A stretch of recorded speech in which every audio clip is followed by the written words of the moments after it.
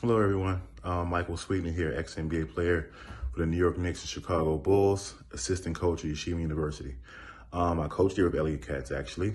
Um, great, great guy. I love the way he prepares. I love the way he loves on the kids. Um, just a great overall human being. But most importantly, he works hard and he prepares us very well.